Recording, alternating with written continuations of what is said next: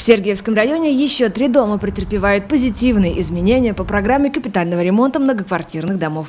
Суходольские двухэтажки, утеплившие свои фасады в 2017 году, в этом 2020 решили менять и кровлю.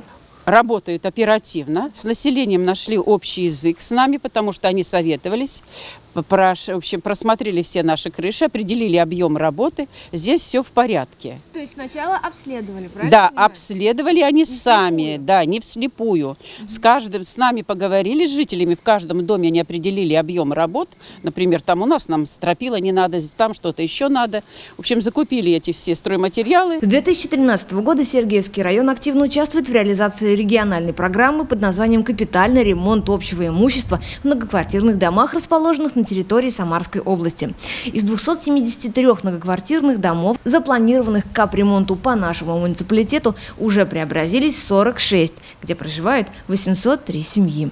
Основными видами работ на домах являются утепление фасада и замена инженерных сетей. Это в итоге позволяет снизить энергопотери и сокращает затраты жильцов на коммунальные нужды. В текущем году в фонд капитального ремонта от района были направлены заявки по планируемому ремонту в 58 многоквартирных домах в Сургуте, Серноводске, Суходоле, Сергиевске, Красносельском и Калиновом ключе. По некоторым уже проведены торги, определен подрядчик. В частности, в домах номер 14, 16 и 18 по улице Победы поселка Суходол строители уже приступили к выполнению работ по ремонту крыш. Очень общительные, коммуникабельные. И, э, я же говорю, с населением нашли язык.